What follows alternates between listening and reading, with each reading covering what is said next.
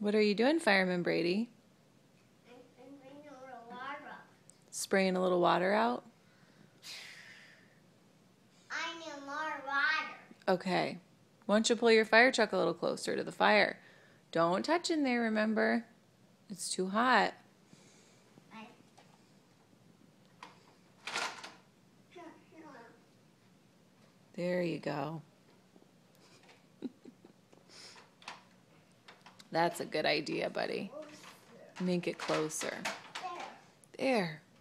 Okay, put that fire out.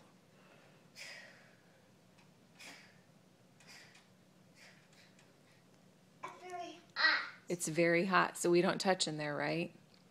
It's very hot here. Right, we Don't touch. don't touch. We just spray it with water. Don't touch, Mom. Okay, Very hot here. okay. I think you're a really great firefighter. I am a warrior firefighter. I'm a, I'm a warrior firefighter.